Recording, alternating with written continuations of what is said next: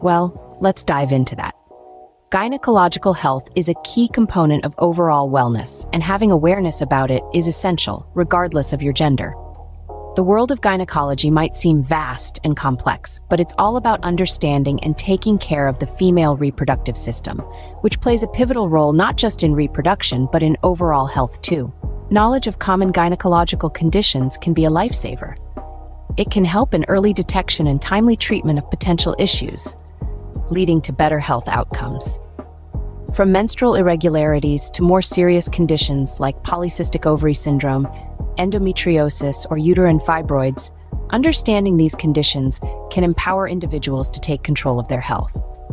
So let's embark on this journey of understanding and demystifying gynecological health.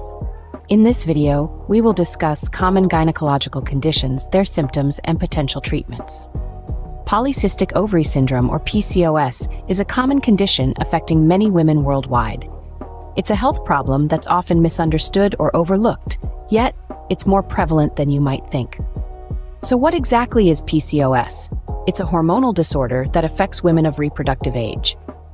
Women with PCOS may have infrequent or prolonged menstrual periods, and their ovaries may develop numerous small collections of fluid, known as follicles, which can lead to the ovaries failing to regularly release eggs. PCOS can present itself in various ways, and its symptoms can be quite diverse. One of the most common symptoms is irregular periods. This is usually the first sign of PCOS and is often caused by a lack of ovulation, preventing the uterine lining from shedding every month. Another common symptom is excessive body and facial hair, known as hirsutism. This occurs in about 70% of women with PCOS and is caused by an overproduction of male hormones. Other symptoms include weight gain, acne, and thinning hair on the scalp. Perhaps one of the most distressing symptoms for many women is difficulty getting pregnant. PCOS is one of the leading causes of infertility in women. However, it's important to remember that having PCOS does not mean you can't get pregnant. It just may require some assistance and patience. So, how can PCOS be treated? While there's no cure for PCOS, the symptoms can be managed and complications can be minimized. Lifestyle changes such as healthy eating and regular exercise can help regulate your menstrual cycle and lower your blood glucose levels.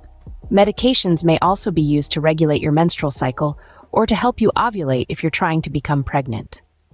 In essence, PCOS is a complex condition with a wide range of symptoms, but the key to managing it lies in understanding it. The more you know, the better equipped you'll be to navigate the challenges it presents. Awareness and early detection of PCOS can greatly improve a woman's quality of life. Endometriosis, another common gynecological condition, often goes undiagnosed. But let's shed some light on it today. Endometriosis is a condition in which the tissue similar to the lining of the uterus, the endometrium, grows outside the uterus. This misplaced tissue can be found on the ovaries, fallopian tubes, and even on the bladder or intestines while this tissue outside the uterus continues to act as it normally would, thickening, breaking down, and bleeding with each menstrual cycle. It has no way to exit the body. This leads to internal bleeding, inflammation, and scarring, which can cause a host of symptoms and complications. One of the most common signs of endometriosis is pain, especially during periods.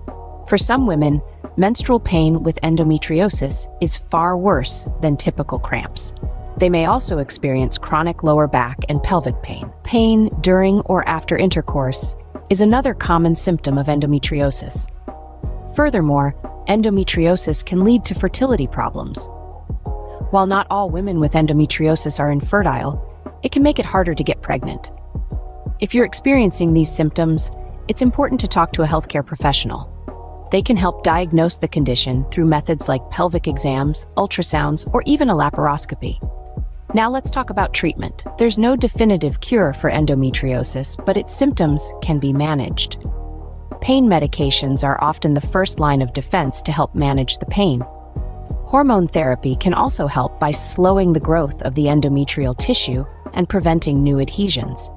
This can not only help manage symptoms, but also increase the chances of getting pregnant. In some cases, surgery might be recommended.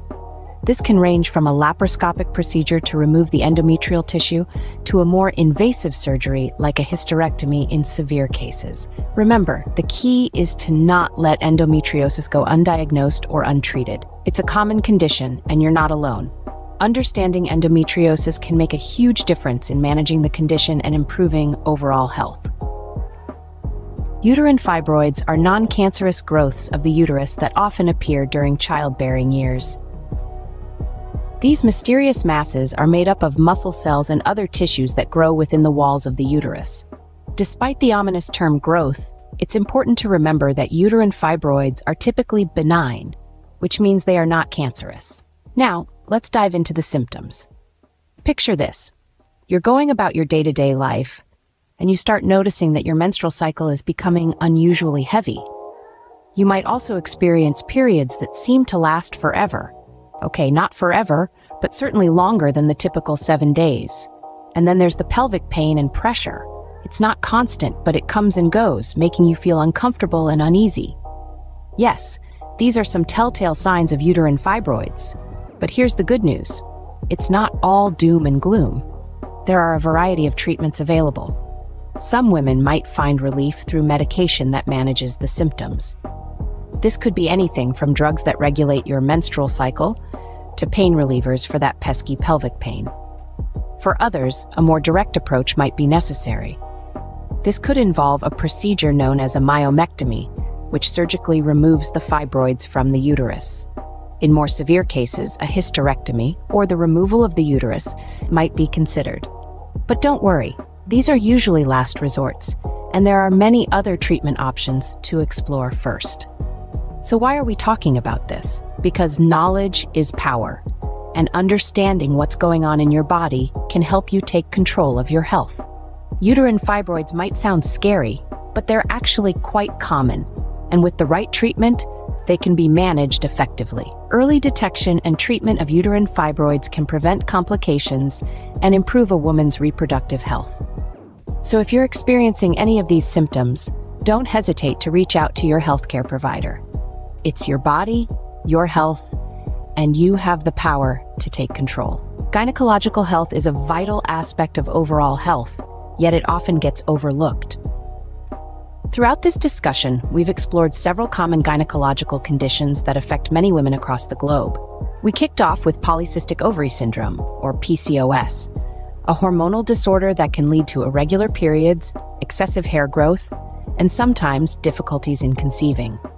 It's a condition that's often underdiagnosed, largely because its symptoms can be easily mistaken for other health issues. But with awareness and appropriate medical intervention, PCOS can be managed effectively. Next, we delved into endometriosis, a condition where tissue similar to the lining of the uterus is found outside the uterus. This can cause severe pain, heavy periods, and can impact fertility. It's a condition that can be challenging to diagnose because its symptoms can mimic those of other conditions. Yet, with the right treatment and support, women with endometriosis can lead fulfilling lives. Our journey also took us through the realm of uterine fibroids. These non-cancerous growths in the uterus can range in size and number, often leading to heavy menstrual bleeding and pelvic discomfort. While fibroids are common and usually benign, they can sometimes cause complications, emphasizing the importance of regular checkups and early detection. In each of these conditions, the common thread is that awareness and understanding are key. They highlight the importance of regular gynecological checkups for early detection and management. Because the sooner these conditions are identified, the sooner treatment can begin, and the better the health outcomes can be. Remember, Gynecological health is not a taboo topic. It's a crucial part of overall health and well-being. It's not just about dealing with conditions when they arise, but about proactive health management, about being aware of your body, and about seeking help when you need it. Armed with knowledge, women can take charge of their gynecological health, leading to better health outcomes. So let's continue to learn, to share, and to support each other on this journey to better health.